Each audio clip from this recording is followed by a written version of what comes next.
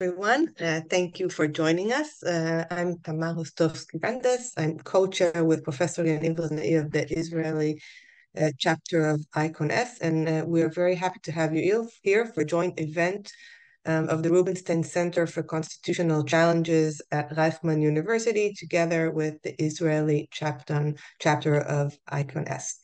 Um, so as you know, we're um, hosting here two colleagues, two distinguished colleagues, uh, to talk to us about um, the Constitutional Assembly and constitutional making attempts uh, in Chile.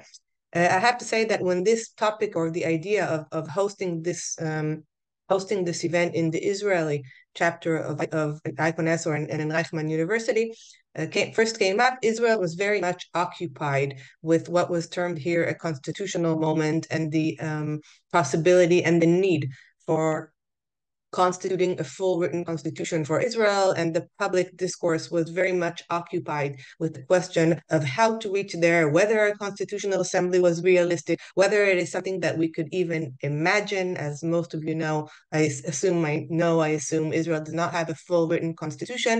And it was very much relevant and interesting, not only as part of their general interest in comparative constitutional law, but also specifically in the Israeli context.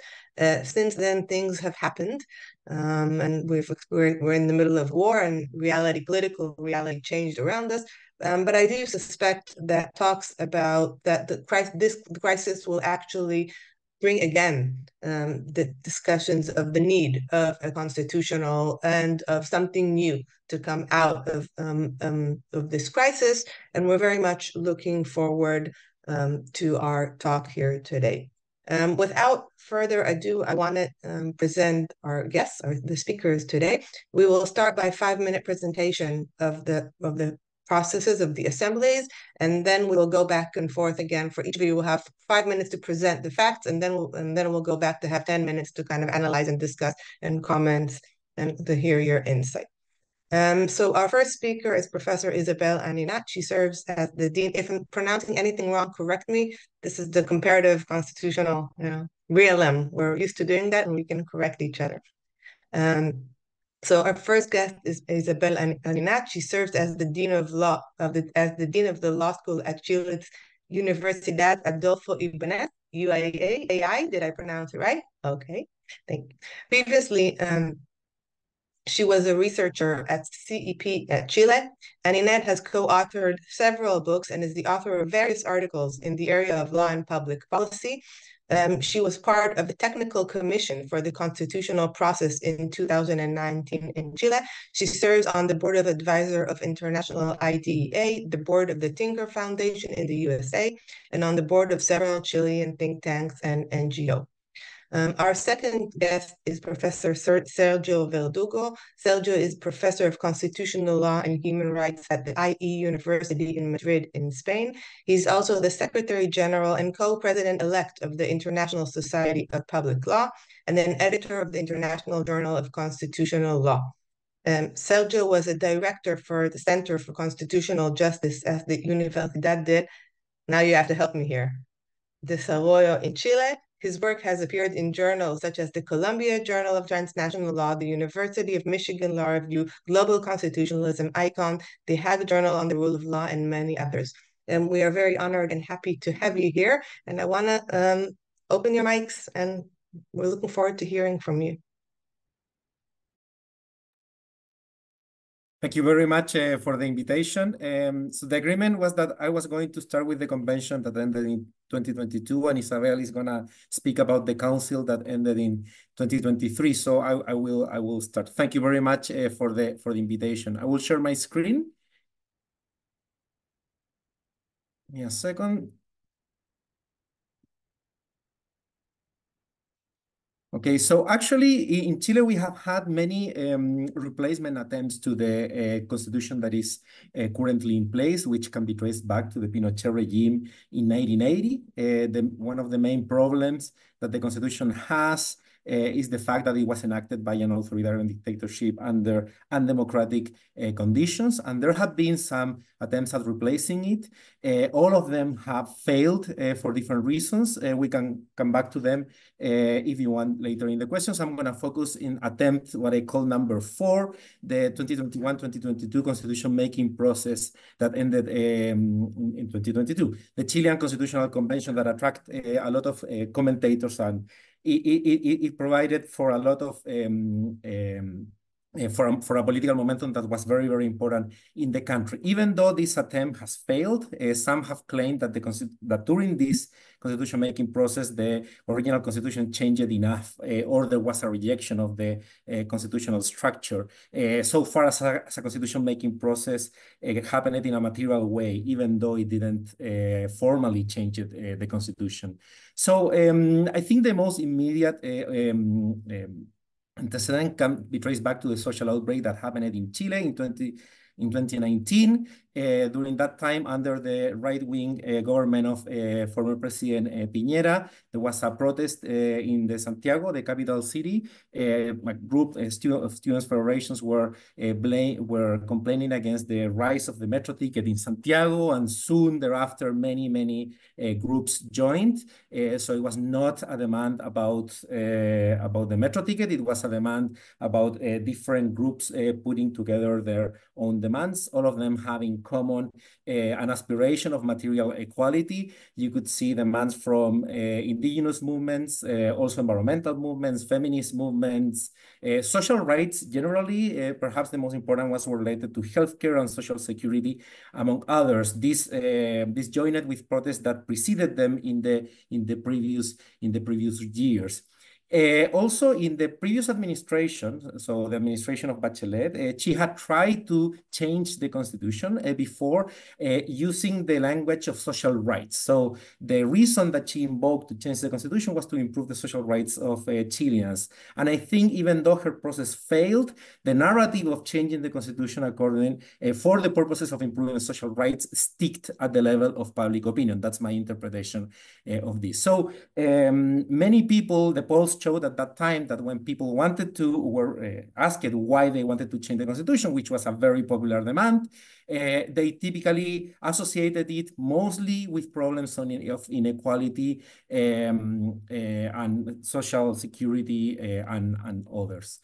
After the social outbreak, um, uh, the President Piñera called for emer an emergency regime. The military went out of the streets. Human rights violations were uh, committed al alongside episodes of violence. More than seven more than 70 metro stations, for example, were burned, supermarkets were sacked, uh, hotels, and, and so on. So uh, the parties were kind of desperate. And even though the right-wing parties in the past had refused to change the constitution and to agree on a, an agenda of constitutional change, uh, now they were cornered. And the survival of the, of the, of the Piñera administration was at stake. So they decided to come to an agreement to open uh, a constitution-making uh, process. Uh, the agreement was not to replace the constitution, but just to open a process that could fail or not. They wanted to set the interests of the parties, and they designed a system that was going to reflect the interests of the parties. For example, they wanted to have the uh, electoral rules for the lower chamber of, uh, of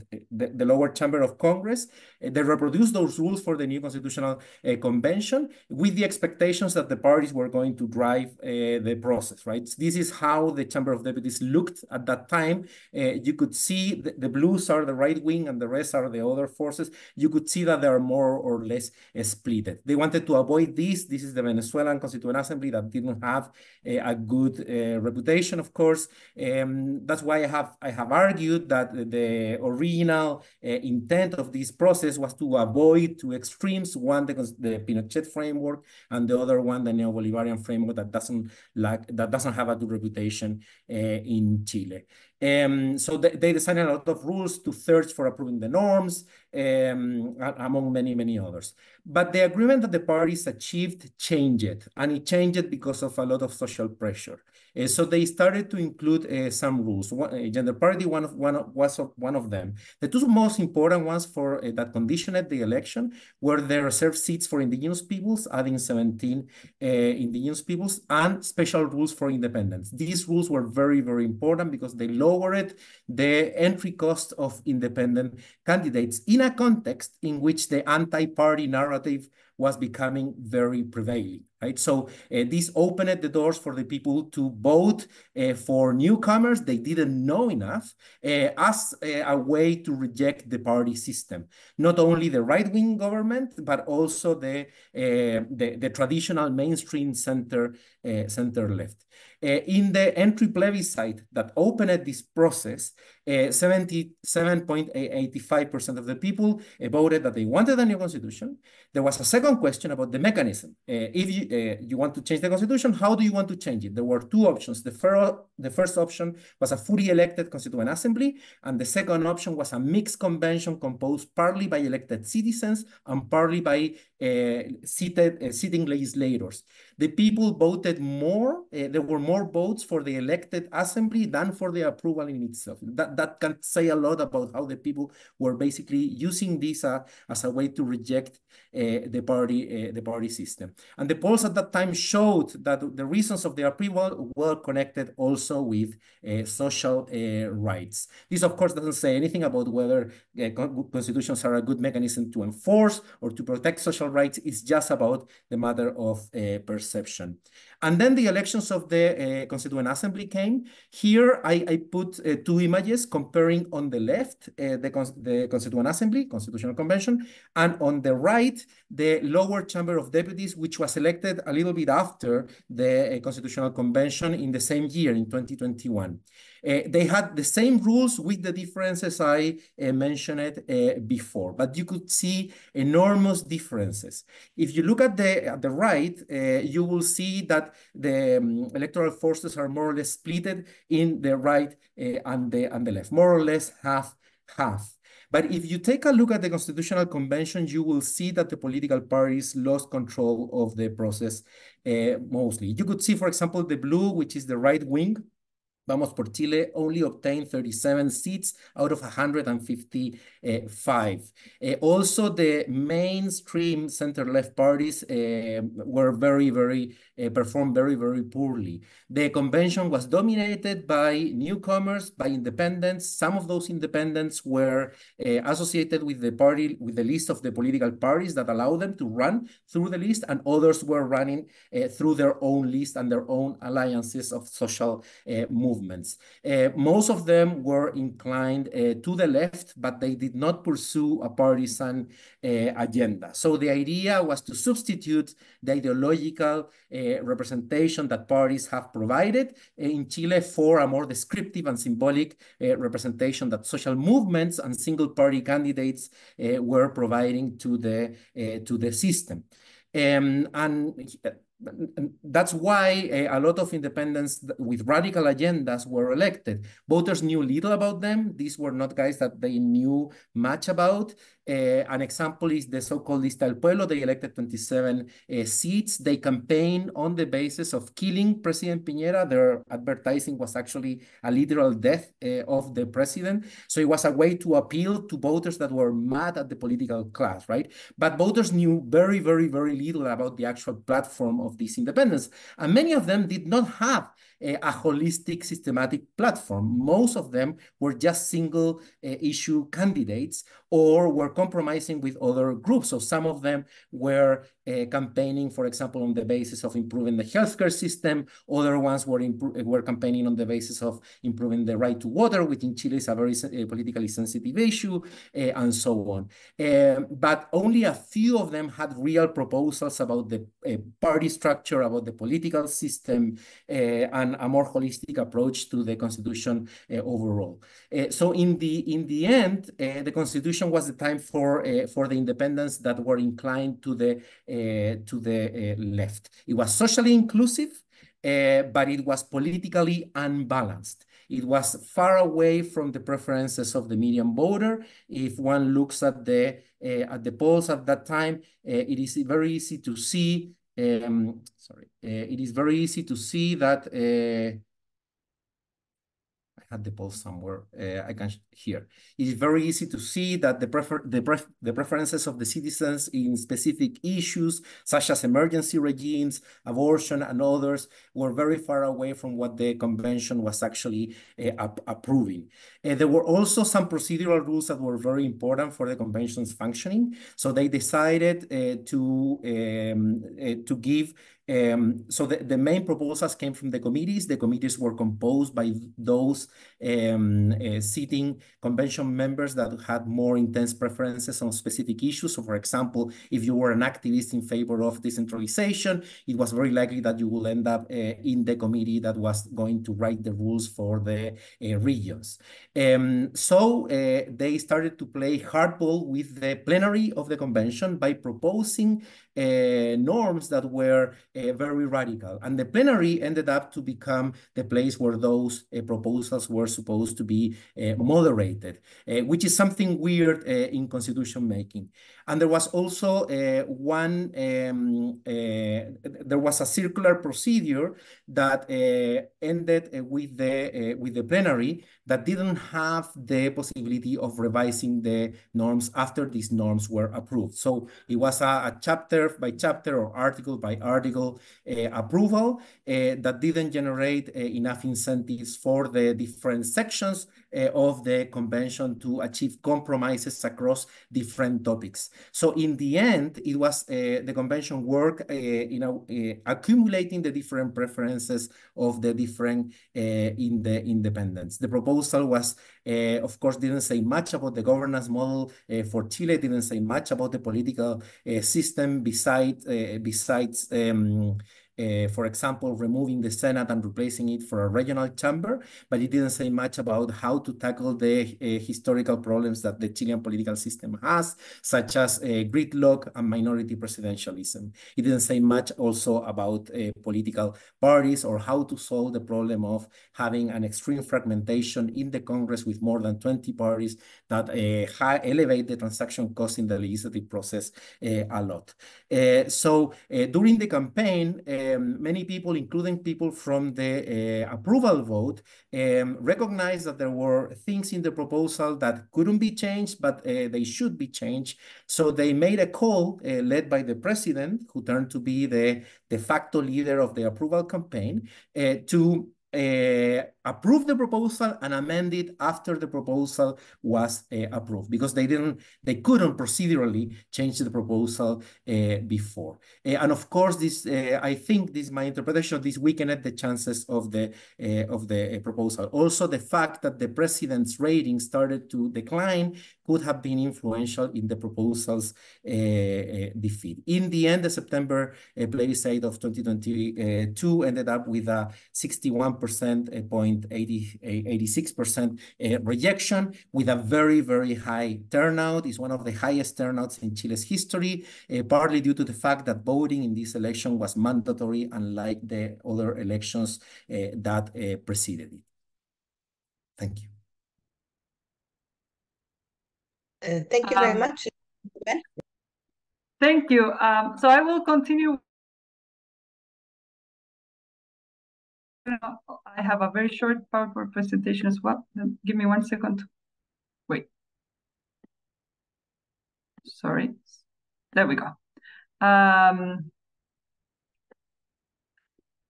okay. Um, so thank you for the invitation. Um, I'm Isabel Aninat, and I, I'm going to start where Sergio finished. So what happened after the referendum? Um, rapidly, there's a, a conversation started among um, political parties. Um, and the government sort of um, tried to lean in, but then um, sort of reach, played out actually of the game. And uh, this was the moment that an agreement was reached by then the president of the lower chamber and the upper chamber. So as you see, again, we had an agreement of almost all the political parties um, in the in the process that Sergio referred. The Communist Party didn't sign in in the process that uh, I'm referring to. The second one, um, the Partido Republicanos didn't sign in, and this will be important because of something that I'm going to explain in a minute. Uh, but as you see, um, this was an institutional agreement to restart again the process, and it was reached um, a couple of months after the the the, the, the, the result of the first referendum in September.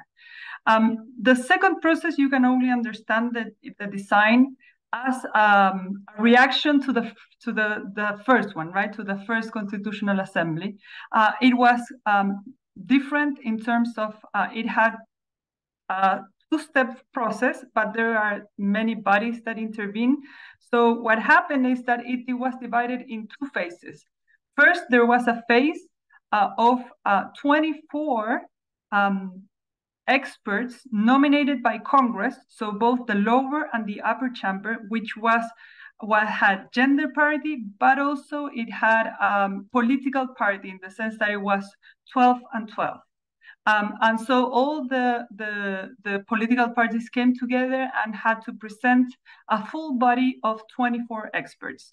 Um, experts included uh, 14 um, um, lawyers, but also there were many uh, former ministers or former um, Congress people. They had a lot of political maneuver. And so that was uh, important for the negotiation that came, um, that started in March, in early March. In Chile, we have vacations in February, so we're almost there in vacations. So, so this started with the regular year in early March when the expert commission started their work.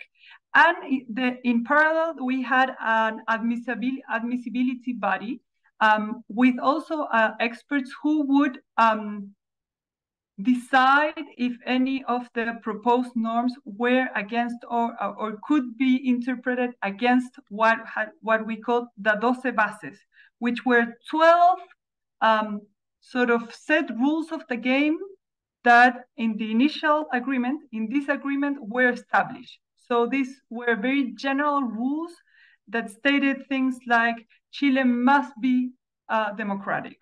Chile must have some type of indigenous recognition. Chile must have, um, Chile is a unitary country, so we're not moving into a federal system. But they are very broad in terms of there was no specific design. For example, there was a discussion if the rule allowed for it to be a parliamentary or a presidential body. That was how general the rule was, but there was a committee established to sort of um, supervise the, um, the compliance with these 12 points. Um, what happened? The, the expert commission was constituted. You can see there um, the body that uh, worked for almost three months, uh, four months actually, and um, they produced uh, almost unanimous uh, first draft. Okay, this was an interesting uh, process because uh, in the after two thirds of their of their time, we had the second the election for the second body, which was the fully elected convention. I'm going to go to that in a second, but they had to work almost for um, the last third of their time uh, for a proposal to be reached that would be handed to the elected convention but they knew who got elected at the end, right? So there were some political incentives going on, and they were able to reach almost uh, and almost, and I would say was I know 90% of everything was I reached as a unanimous proposal, as a unanimous draft. They submitted, and I put uh, to the right the photo of the who was then President Veronica Undurraga and Vice President Sebastián Soto, uh, she's from the left, she's he's from the right, and they worked very in tandem uh, to produce this draft, and they sort of submitted this um, as a complete uh, proposal. Um, what happened? Uh, the second part of the process included an elected body. Um, and this was, I would say, well, as you can see, it's much more smaller than the one that uh, Sergio showed. Uh, this was not 155, 54 people. This was now 51 uh, people. And, and, and as you can see, the composition is now much less fragmented. So before you saw a lot of colors, now you see uh, only sort of three colors. And this goes this way. Um, the Partido Republicano, which is the, the light blue color, um, was the party that I mentioned did not sign the entry agreement. And they are a new, um, a sort of new party. Um, they started, um, I would say, less than eight years ago, but they had um, a very strong presidential candidate. He went into the runoff against President Boric. He got elected on the first uh, round of um, of the election with as the first majority, and they are from the far right. Um, then you have the orange ones to the right. They are the traditional right, and in the middle you have uh, all the parties from the left. So the composition was almost the opposite as what Sergio showed. Of course, this is a smaller assembly, but as you can see, it had um, a right-leaning convention.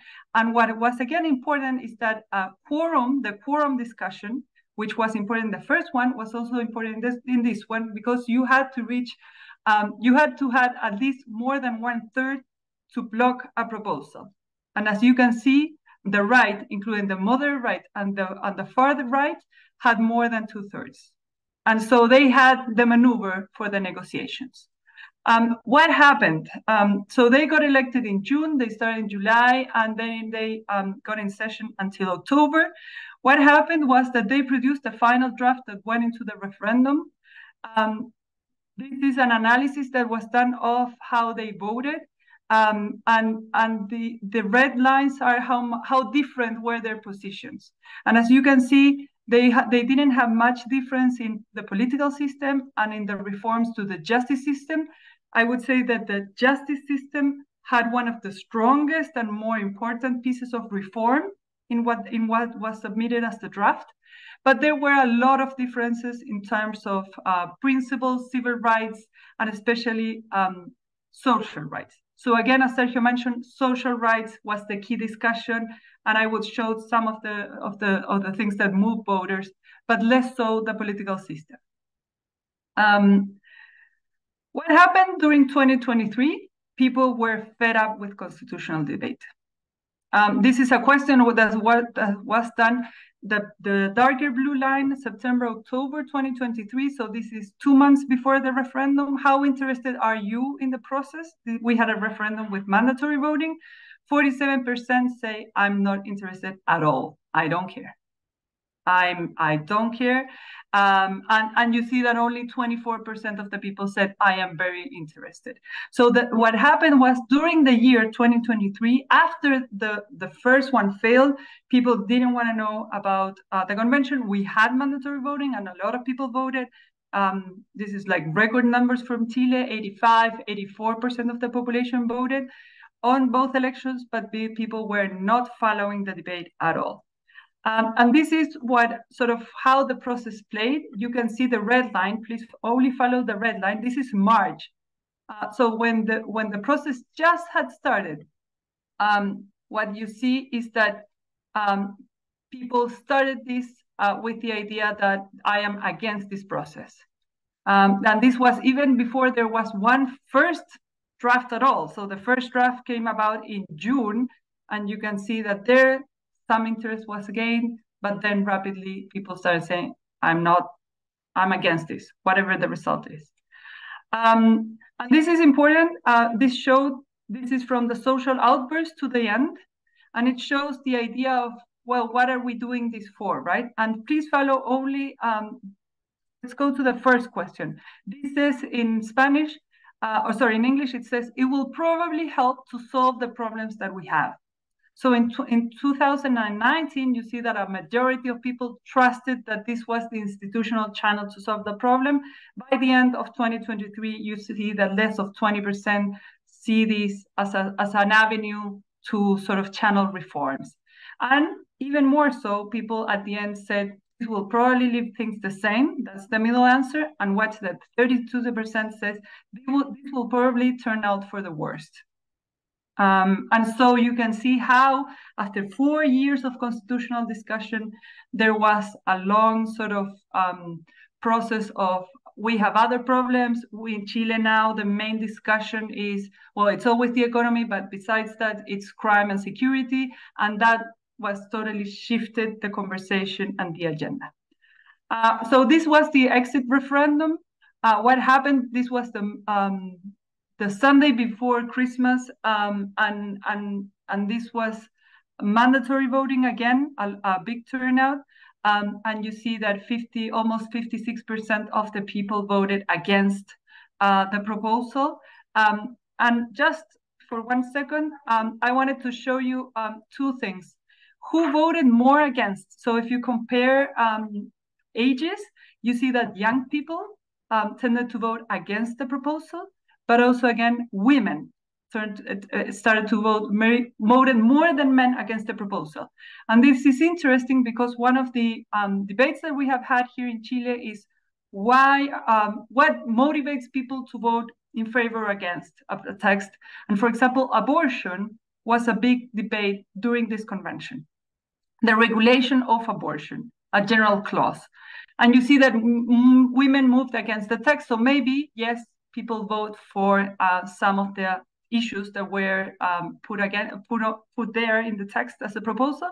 But then in the polls what you or, or in the general surveys what you see is that people tend to say that they vote against or in favor if they see a general agreement of where this is going. And again what you saw during this process even though there was less fragmentation was that there was no real um, sort of a social or um, a political affection in the debate and you saw one side against the other. And so um, tossing and turning on the specific issues but there was no general agreement as what had happened with the experts at the beginning.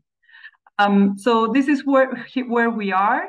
Now uh, the process ended as i mentioned in december um, there was some debate at the end if um, there should be another process starting, uh, but now you see the polls and nobody is real uh, is really interested in the constitutional debate or in a or in a big constitutional reform um, for now or for the coming years, at least in the near future. Thank you.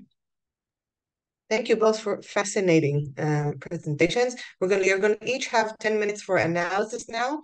And then uh, Professor Yaniv Roznai and Professor Liav Orgad, who are um, co-directors of the Rubinstein Center, will take lead the discussion. So feel free to write questions if you have them during the presentation, and uh, we can start there.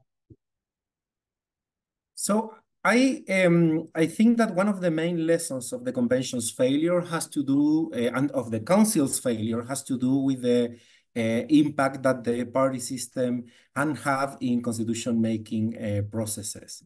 So the convention was not approached as an opportunity to fix the party system because it was composed by members that were not repeat players. They were not supposed to be uh, members of the of any parties uh, anyway. So they didn't. There was no incumbency problem, right? And this speaks directly to one of the uh, so-called advantages that, that, some scholars have raised on why extraordinary assemblies are better fit to produce a constitution compared to sitting legislators. The experience of the Chilean Convention and of the uh, and and somehow also the experience of the council uh, shows that this incumbency uh, pro, uh, the incumbency problem is not only a reason to support an extraordinary body, but it's also something that should make us approach these bodies with more in a more cautious way.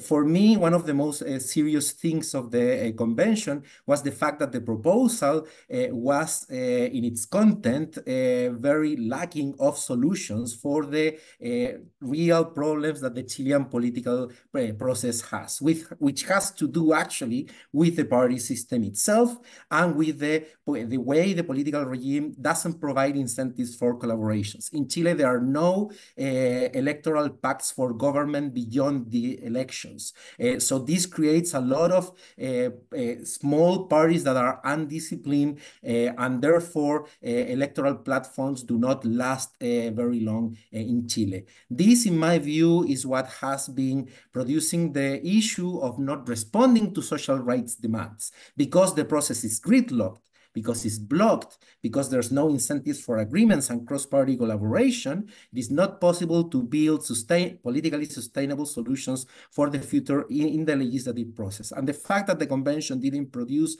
a proposal to tackle these issues, I think uh, says a lot. The council is a more mixed experience because it, it tried to tackle this problem with the, uh, with the proposal that the experts provided.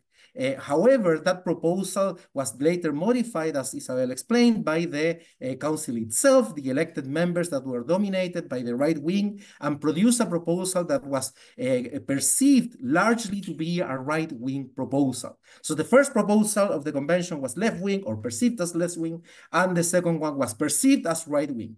None of them appealed to the medium uh, to the medium voter and and this should say something about how we uh, make the parties um, relevant for any constitution making uh, process um, if we take a look at the types of failures that we see in constitution making uh, I think there are at least three types of constitutional failures that we need to address. One is the authoritarian failure, has been uh, addressed a lot in the literature, the experiences of Venezuela and Hungary and other countries.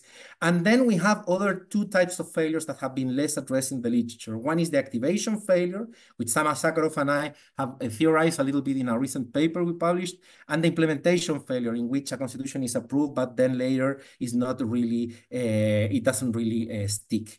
This is a case of an activation failure. And activation failures haven't been addressed enough in the literature. Chile, we have uh, we have some cases. We have the replacement attempts that preceded uh, Lagos. Then we have Lagos attempt in 2005 that succeeded to approve a reform, but didn't succeed to uh, to show this reform as a new constitutional order. So it failed at a substantive and symbolic level. Then we had Bachelet's attempt, the convention's attempt, and the council's attempt of 2023. All of them had to do with political parties. Parties either acting as veto actors or parties opposing them when the party system is against the proposal or when a relevant part, uh, part of the party system is campaigning against the proposal, uh, is unlikely for the proposal to gather enough uh, buy-in from social sectors. And this, I think, is a very important uh, argument also from a normative perspective, uh, because from a normative perspective, parties are better suited than social movements to provide ideological representation and political balance to these types of bodies than social uh, movements.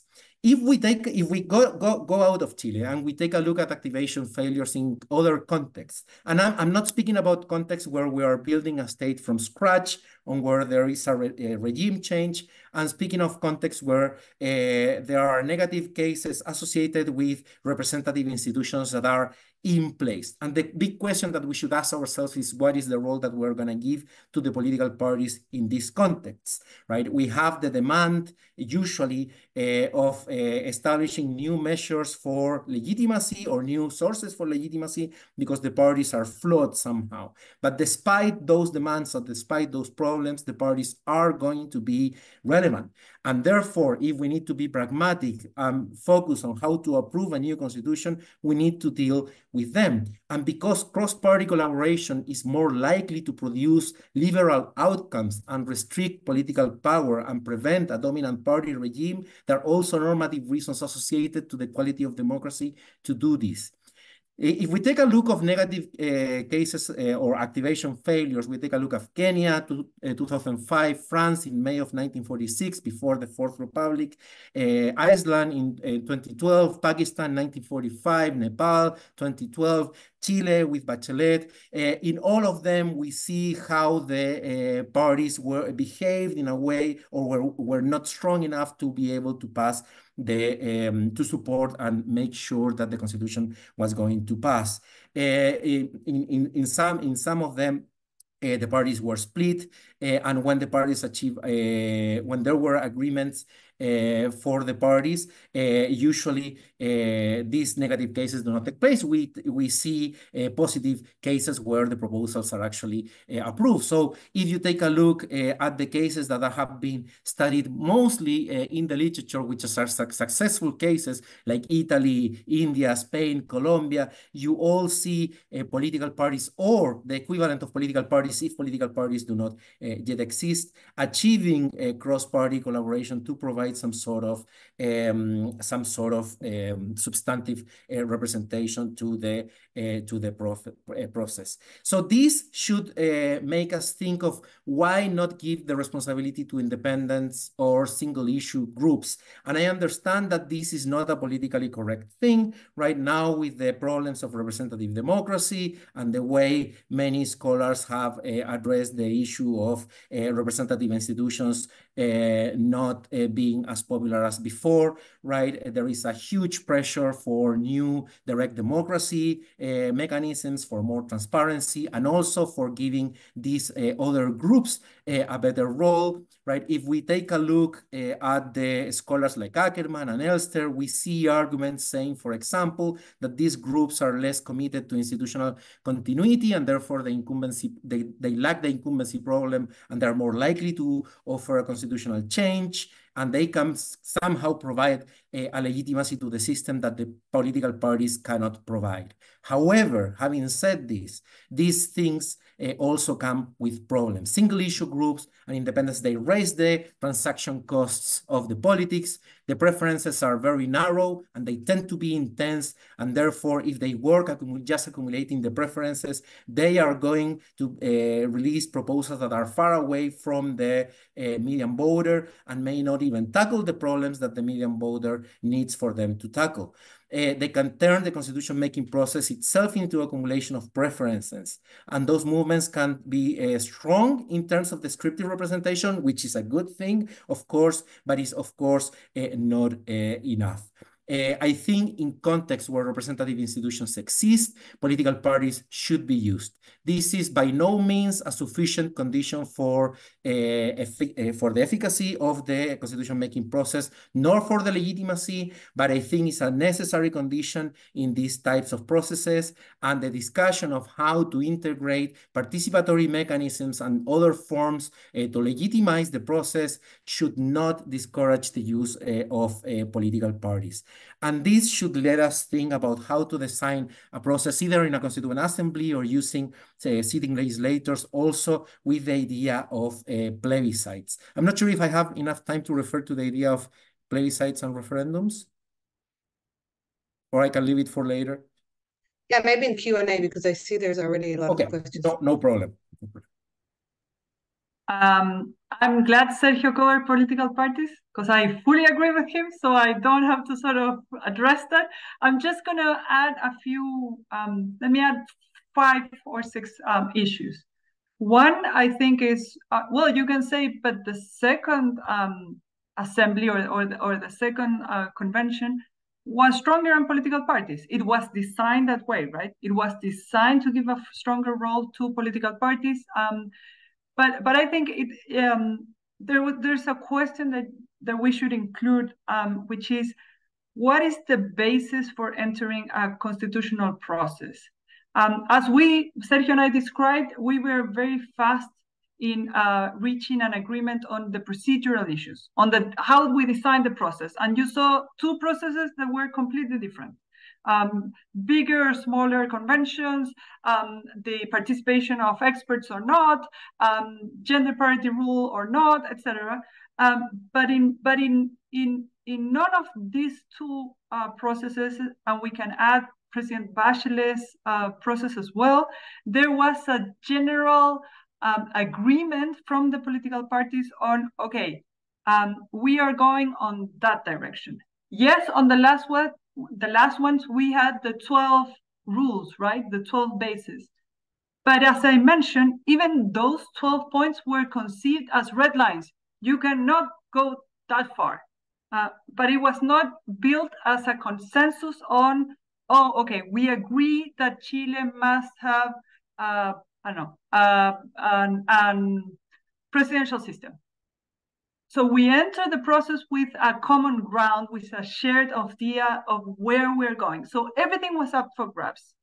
Uh, everything the role of the state the role of the of the private sector um, the role of um, how the judiciary was designed at the same time that we were redesigning congress and the presidential system so so so that sort of um, put everything up for grabs at the same time that we have a very sort of shifting agenda volatile uh, political system, right?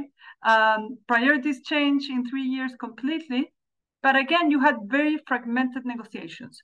So in the last process, where you see a bigger role of the political parties, it's not that the political parties sort of it's not that as the, the general political parties were backing the, these negotiations and sort of doing their job it's that they said okay they are there and we are here. And they must reach an agreement but they are there.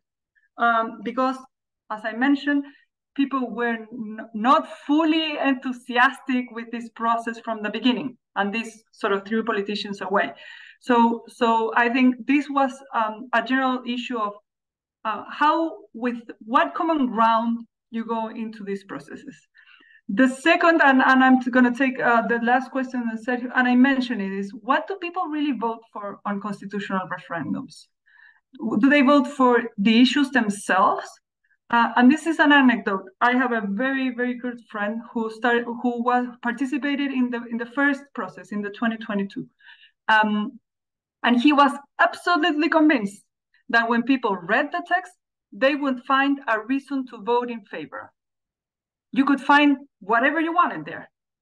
And they and he told me like, but you will see that people will find their issue, and that's where they're gonna vote in favor.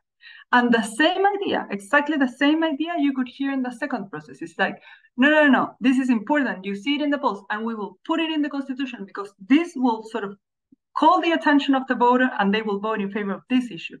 But again, in the polls, in the service, you, you saw that people said, I don't like this because what I see is people fighting over things that I don't understand, and uh, and this is very fragmented and it's very complex, and and what I see there is sort of polarization. Uh, and so what what what are these sort of um, constitutional referendums getting uh, from the people? I think that that's that's an important um, issue to to talk about. Um, the third one, um, how much can we ask of a constitution? Um, in both cases, uh, you saw that um, for, for the first one, it's, it's difficult to think of an issue that was not addressed. Um, but, but, but how much can we put in the constitutional text? Uh, how much can we stretch constitutional law? Um, what is the sort of public forum for the debate?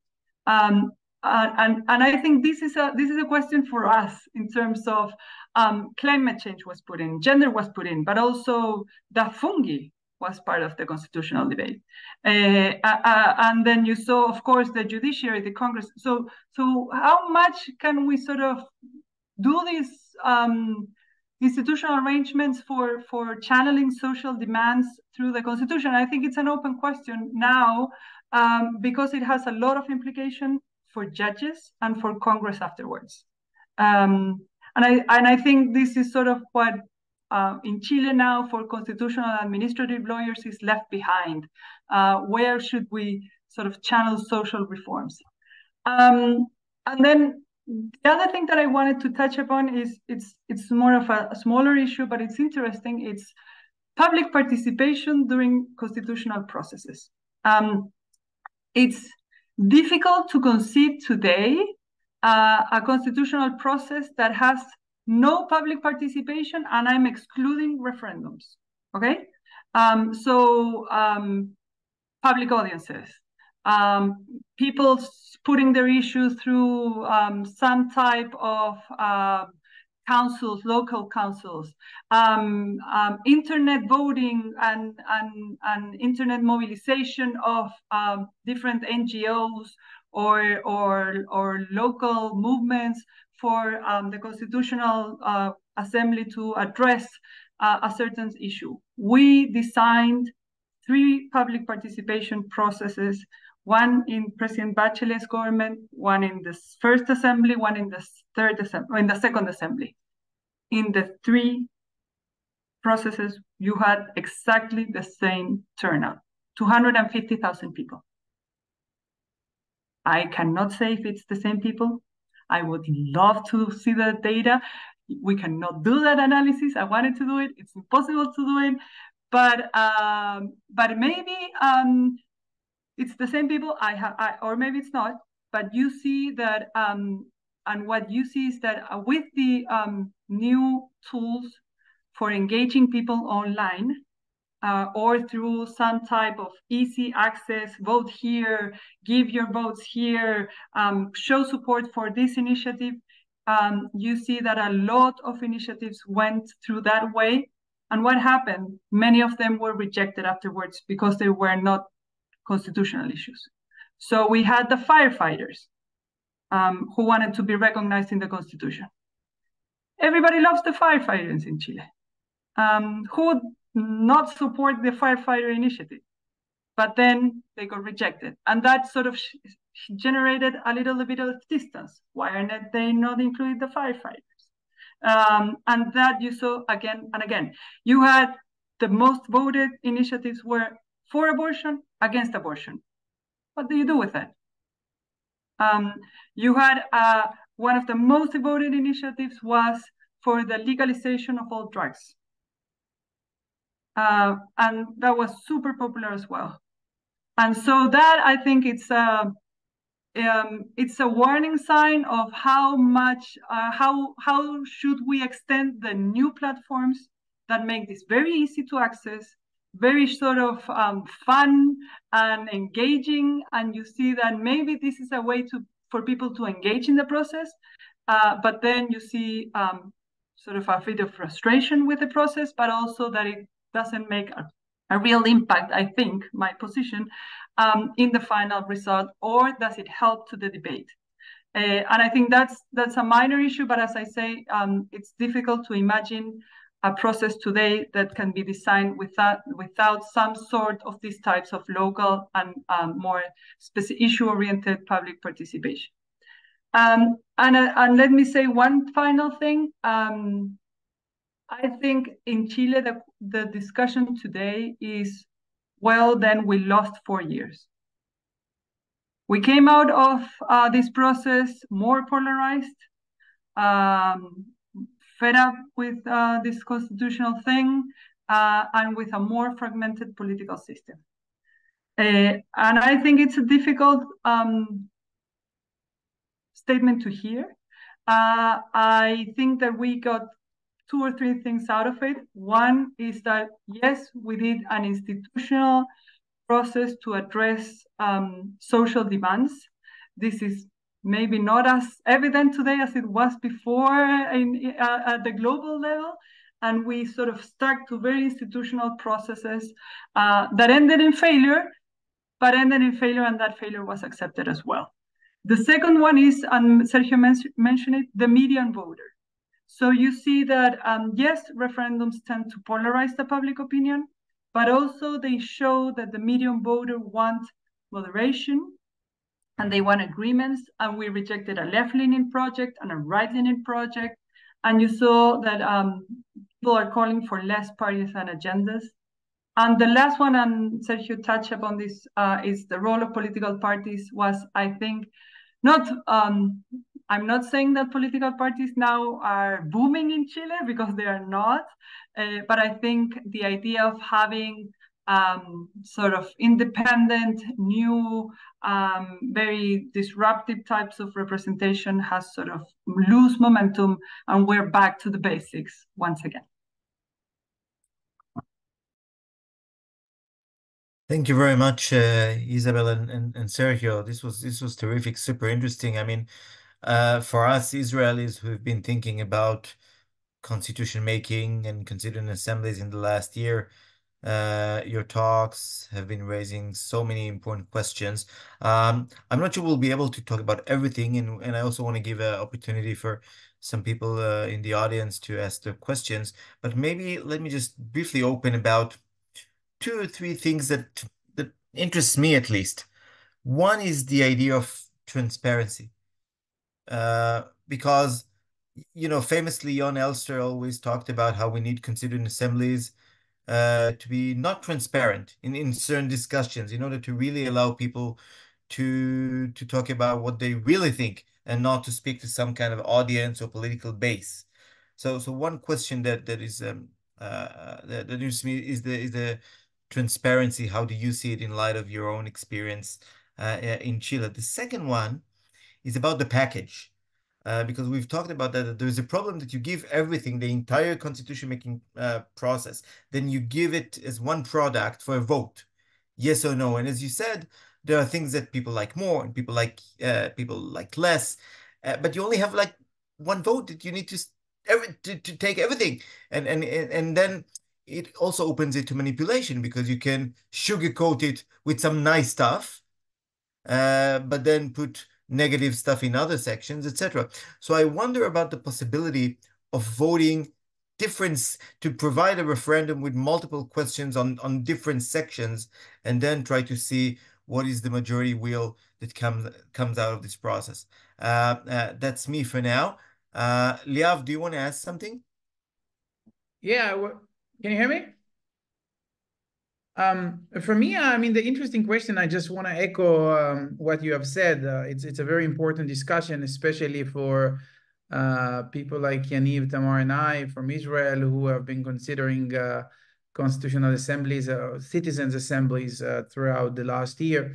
And I wonder if there is something to be learned from the experience in Chile, but also the experience that was in Iceland, also a failed one, uh, of having citizens' assembly that can be gathered as a kind of now, uh, if we put it as a comparative uh, comparative perspective on on citizens' assembly, because it has been much more successful on the municipal and subnational level even transnational level in Europe on the European level rather than on the national level. Thank you. So Isabel, do you want to start? And then I, after, after, this um, round, we'll open it. Sergio, yeah. can we uh, should we divide the questions? I can take the transparency one. Maybe? You, you can just pick and choose whatever you want. Okay, so also transparency. Um, this is a very interesting subject. Um, so in the first assembly, actually one of the most heated debates on the on the 2022 assembly, one of the most heated debates was full transparency.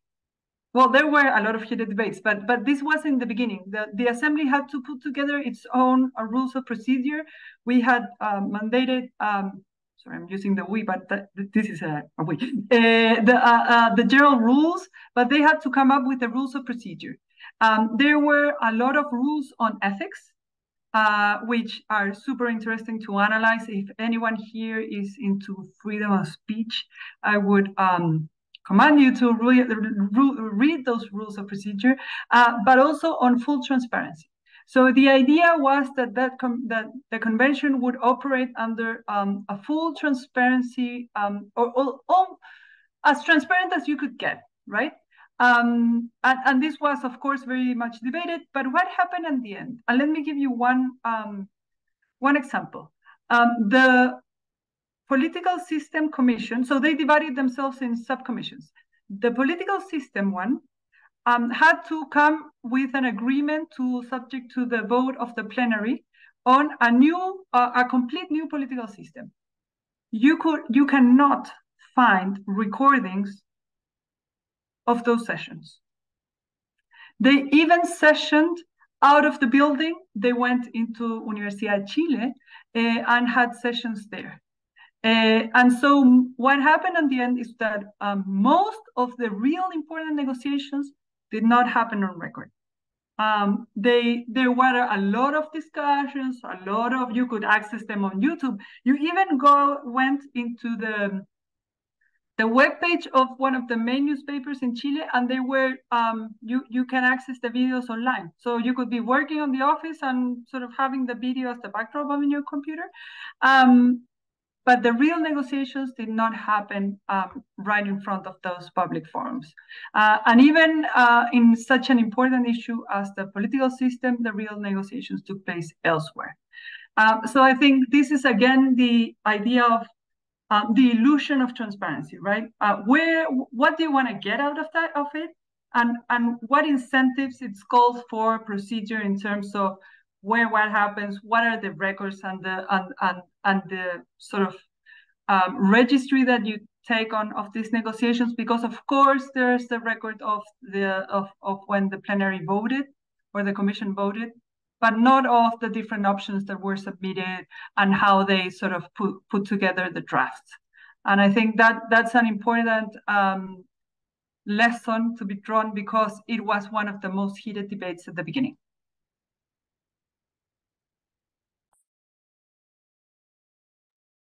So I, I think for a, just a very uh, briefly on the issue of transparency, I think that one of the main criterion for designing a constitution making process is how to make sure that uh, constitution makers from opposite sides have enough incentives to collaborate in cross-party proposals. Uh, and when you have, uh, when everything is transparent, uh, two things happen. First, their incentive is to appeal to their external audiences, right? And not to speak to each other. Uh, and second, if they want to speak to each other uh, without appealing to their external audiences, they need to find spaces that are opaque illegal uh, or basically badly seen right so so that, that that that's one of the that's one of the issues even though in the case of chile I personally advocated and other advocates for creating spaces for uh, confidential negotiations. Uh, it was basically impossible. Uh, it's just, it's so popular. Um, the, the narrative of transparency is, is, is, is, impossible to fight again, against it. And if you're a politician, uh, even if you think that confidentiality is a good thing and you're with Elster, the same Elster paradox suggesting that the conditions, uh, the democratic conditions are unlikely to take place there, you know, uh, are going against your your call. So politicians are just not going to accept it in their in their narrative. Regarding the Sorry, issue, Sergio, yeah. just to interrupt you very briefly, but if you if you read things in Chile and they mention something about the kitchen, so yeah. this might it's it's what we call the sort of the places where the negotiations take place. This is a very old story, but it's like oh they met in the kitchen. Uh, they met in, they met behind closed doors, right? Uh, literally people meet to for dinner and they negotiate there. So the kitchen is that concept.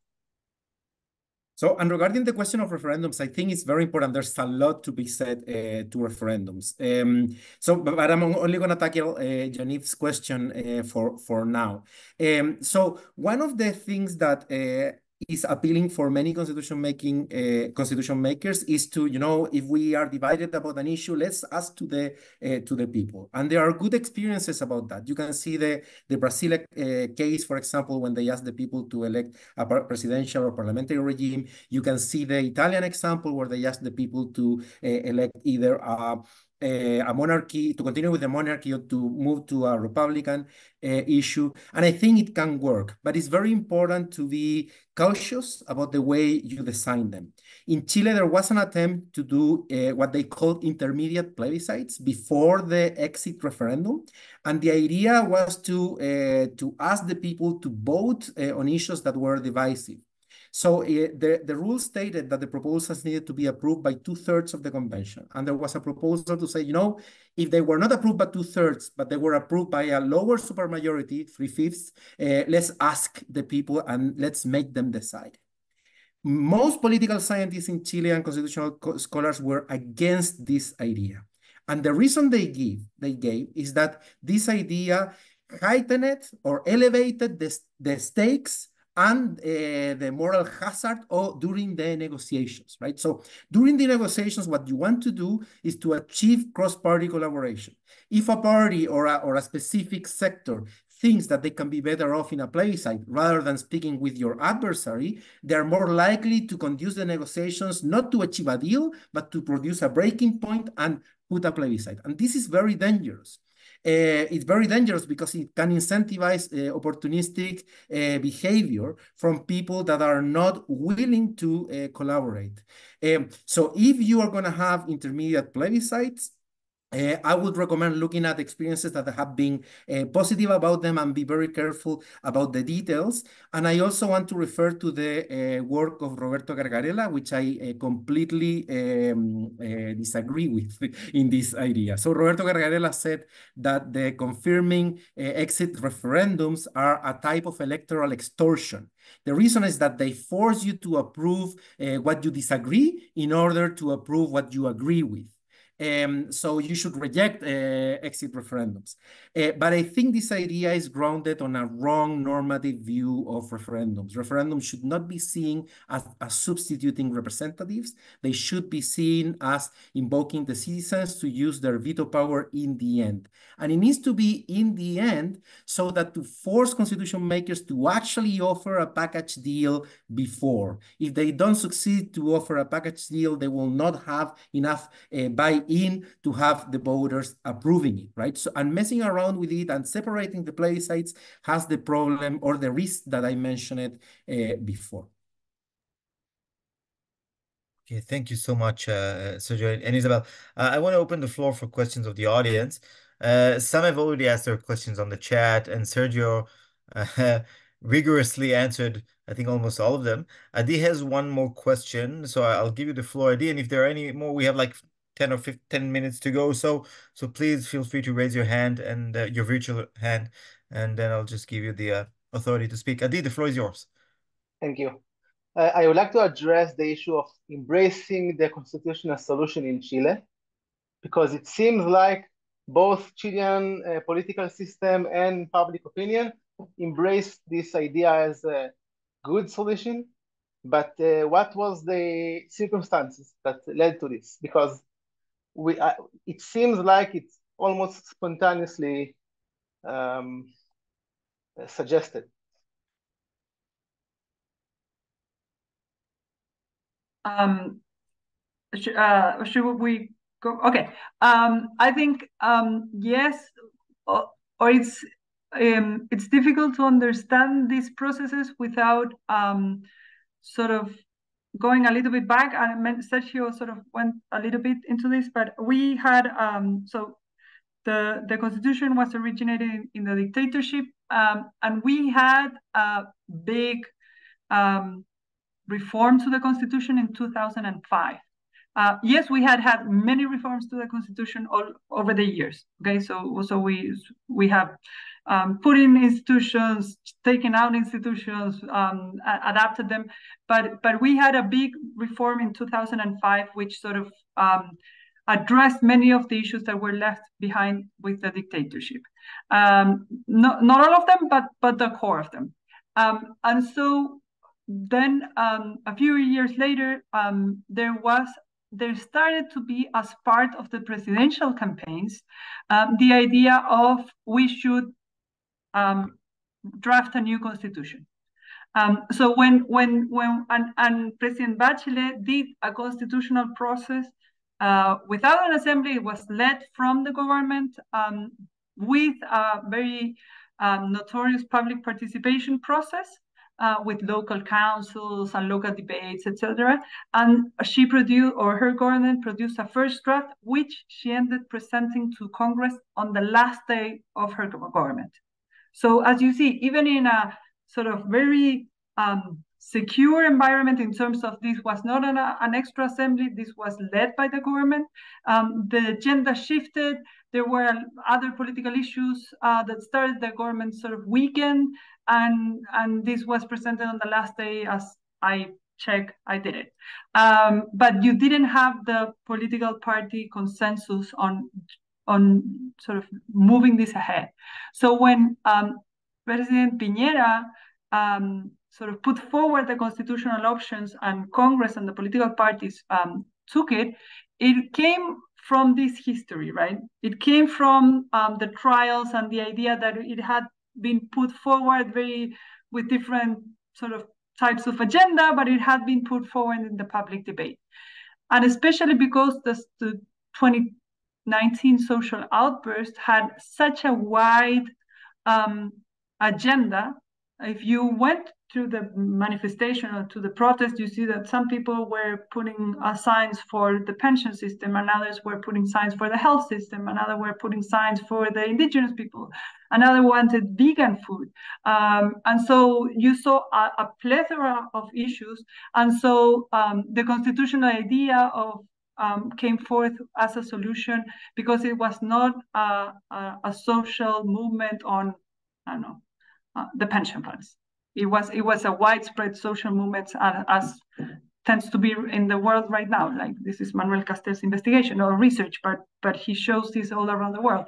So so the constitution was seen as well. This is the place where you can address a lot of social issues, and that's why you see um, again and again that one of the most conflicting discussions was social rights. Um, it was gender and abortion and pensions and health, uh, and and and there was I would say one of the main um, notes, and it's also because that's what gets and, and cuts the most attention from people, right? Um, understanding judicial reform, sorry to tell you, but it's not very exciting. For us, it is. Uh, but uh, you but socialism. What happened in Israel in the in the last year? Uh, well, well, you prove me wrong now. I see that. Uh, but but uh, but that's I would say it's it's the history of why this came up um, as a solution. I see that there are many um, questions, so that's... maybe we should let Martin uh, ask his question, then we go back to to Sergio and Isabel. I, I think also Nadiv wanted to ask a question. So Martin and Nadiv, and then we'll give you the last words of answer, and then we can wrap it up. Martin, please. Thank you. Hi, Sergio. Hi, Isabel. Long time no see. Um, I, I, I, wanted to go back to the procedural aspects just a second because um, I think you both are right in that um, like political parties being weakened throughout the process was a key issue uh, because it, it, uh, it, especially the first process lacked kind of uh, conduction and that made uh, agreements much more difficult. But I, I was wondering um, what what have you reflected on the quorum um, and how the quorum I think, was agreed upon under the belief that it would kind of protect the minority, whichever it was, right, by giving them veto power. But as in both cases, the minority missed the mark to to get the veto, like they didn't get it. Um, it I think it effectively made agreements more difficult. Like uh, the minority was forced into kind of irrelevance, and there was no chance by which the majority would kind of seek uh, like across the aisle agreements, right? Um, and so, like, I want I wanted to to ask you about what um, where do you put that? Like, what balance do you give to that? Thank you, Martin. Maybe we'll let also Nadiv, and then we'll give the, the floor to Sergio and Isabel. Nadiv, please. Thank you. I'll be short. Uh, hi, Sergio. Uh, it's nice to meet you, Isabel. It was a wonderful presentation.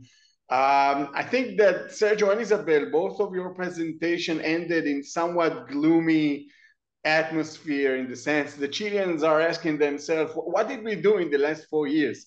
So I wanted to take it back to Israel and to uh, share with you the fact that we had this kind of a magistical socio-legal process of our social constitutional protests in which our public, our body politic, uh, transform itself and improve its ability to talk about the Constitution. I think that here in Israel, we are talking about the fact that even though we still did not maintain ourselves a new constitution or a constitutional amendment, we had a huge change in terms of public constitutional literacy.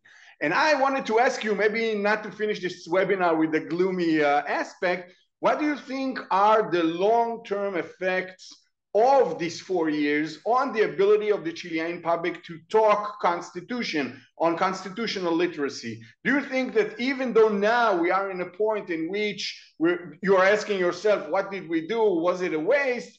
The whole process and the whole public contestation did took Chile one step ahead in terms of educating the, the people to talk about the constitution. Thank you so much. Sergio, please. Go ahead. Yes, uh, thank you very, very much. Uh, both Martina and Nadiv, uh, I, I know both of them personally. I haven't seen them in a while, so it's a pleasure to see you guys. Uh, Martin, so Martin asked the question about supermajorities, right? So when you have supermajority rules, uh, it obviously elevates the uh, it elevates the transaction cost. It's harder to achieve political compromises when you have uh, supermajority rules, and whether we should revise those rules or not.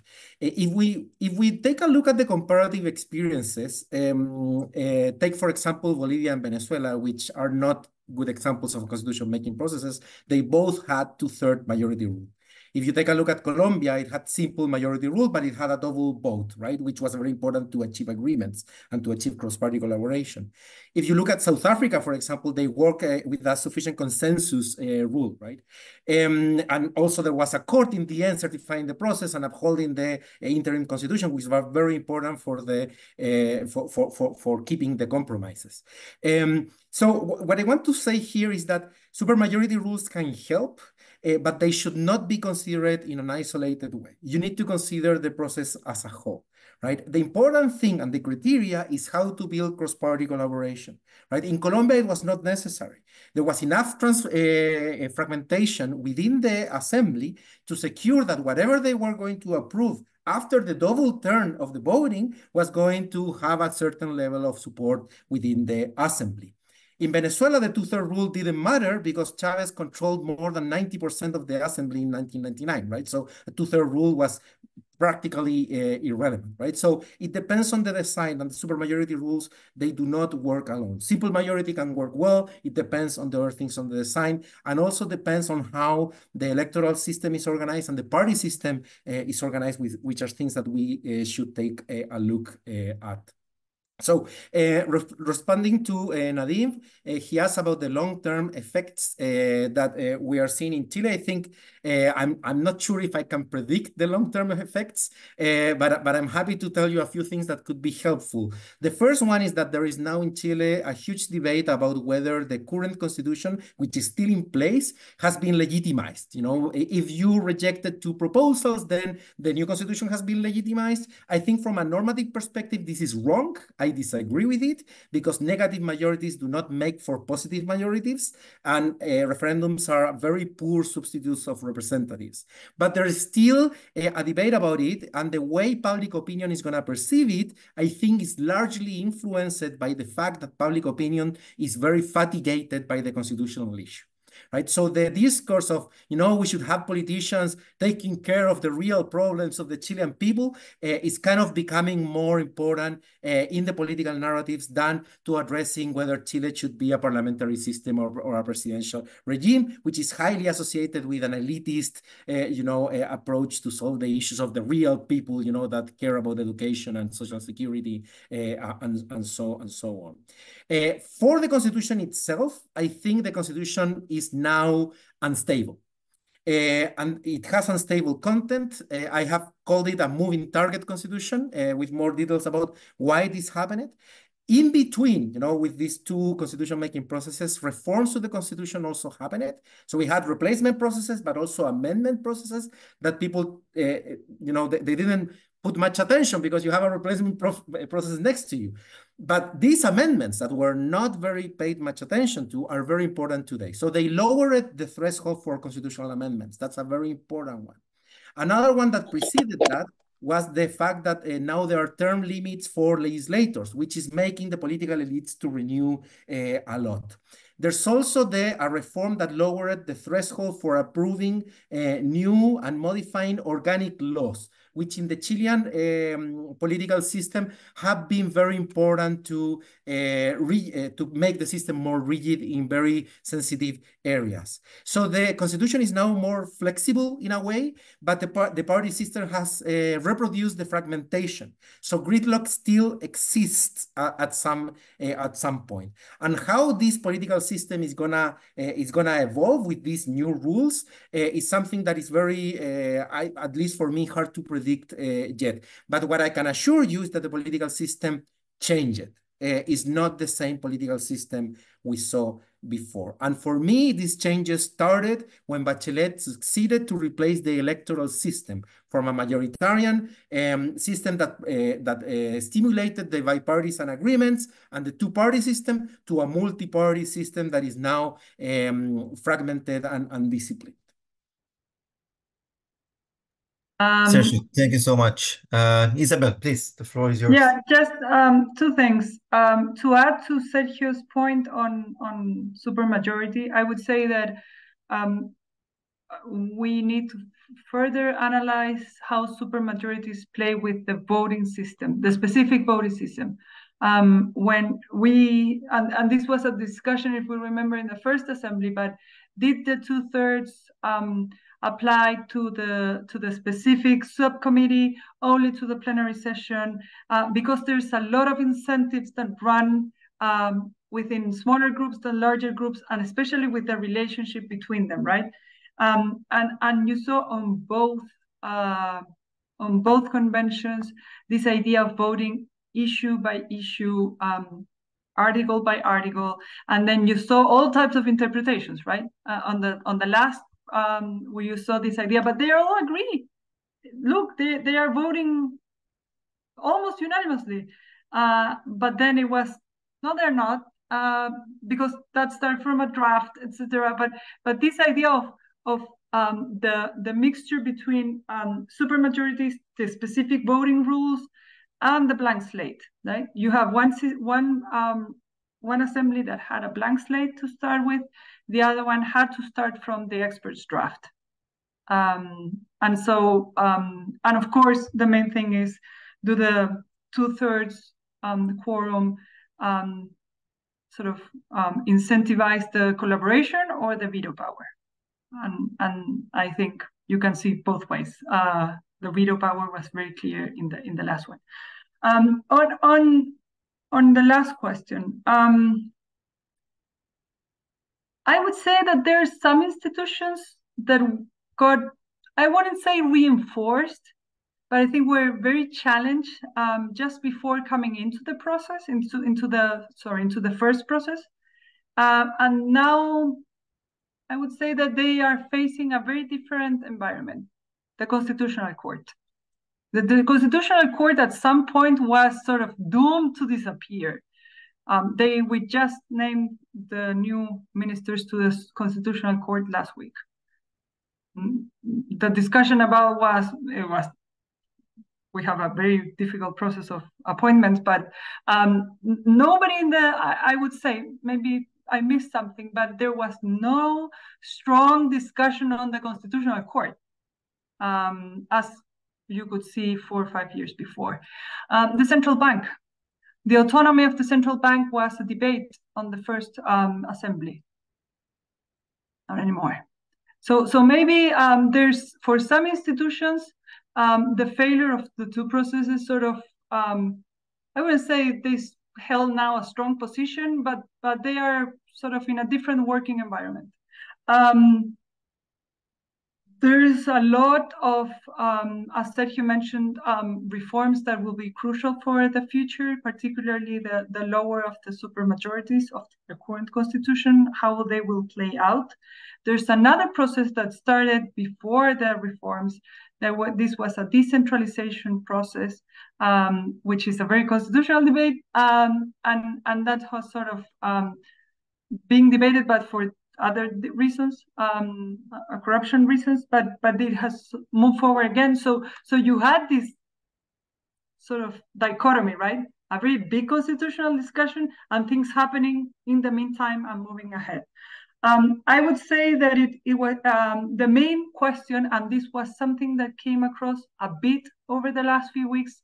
Um, I'm I'm not very sure that it will go through, but you saw some people saying, look, there was an agreement on a change on the political system. Maybe we can pick something of that up and take it to Congress and approve it. Um, I would say that the Congress today is too fragmented for that, uh, but there was some conversation from political parties saying, look, we had an agreement on this a few months ago. Uh, so why don't we take that? And, and with that, we can change um, the idea. Time will tell how much the expert draft will be valued. You had a draft that was almost, it was unanimously approved from people from the far right to the Communist Party. So time will tell if that will sort of be put forth again, not now, but maybe um, in, a, in, in, a, in, don't know, a couple of years. And I would say what is interesting to watch again is the, how this impacted general politics in general. So you saw um, political par parties surge and then fall in, the, in in four years, right? And and new representation and new leaders, and and they disappeared completely um, from the political agenda.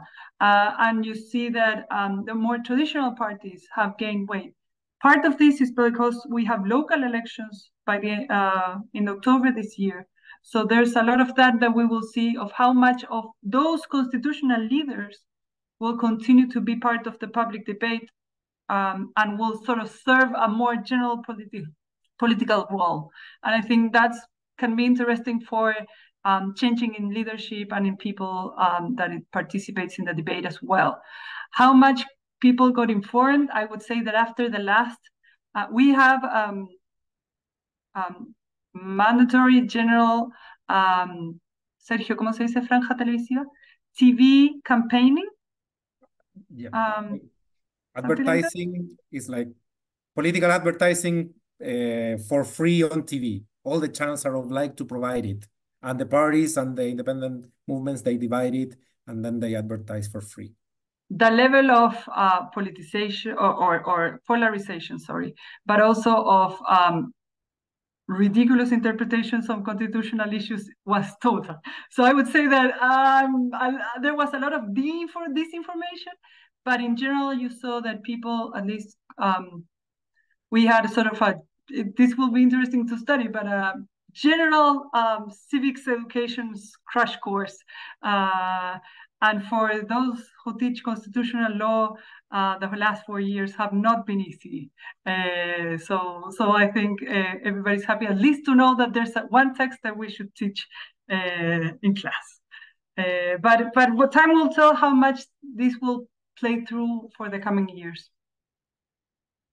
Thank you so much, uh, Isabel. Tamara is apologizing. Her internet just broke. And just imagine the, the life she has teaching now public international law in Israel. It's even more uh, uh, challenging, I assume. Guys, we have to end, and this was indeed a fascinating event. I would like first to thank the audience and those who came to watch. And this was really, I'm just looking at those who participated, and we have really a powerhouse group here of participants. Silvia, hello. This is an opportunity to congratulate Silvia Suteu for winning the ICON-S Book Prize. This is an ICON-S event, so a big mazel tov, Silvia. And it's also, I think, an opportunity to congratulate Sergio, who is the incoming president of ICON-S. Uh, so I hope that the next event we can host you already as the president of the of our society. Uh, I would like to thank Tamar for this collaboration uh, of ICON-S and the Rubinstein Center for Cultural Challenges. Isabel, you as the dean, you're super busy and we really appreciate coming and to sit with us for an hour and a half during the day. Really, I'm the vice dean and I can only imagine how uh, busy you are these days. So thank you very much, everyone. Uh, and I hope to see you on the next events and take care and good news everyone we will post this uh, event later on social media so if you would want to forward it uh, be our guest to do so. Thank you very much. Shalom, everyone.